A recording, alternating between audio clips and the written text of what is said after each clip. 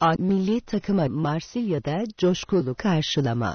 Fransa'nın ev sahipliğinde 10 Haziran - 10 Temmuz tarihleri arasında düzenlenecek 2016 Avrupa Futbol Şampiyonası'nda Euro 2016 mücadele edecek Türkiye A milli futbol takımı Türk Hava Yol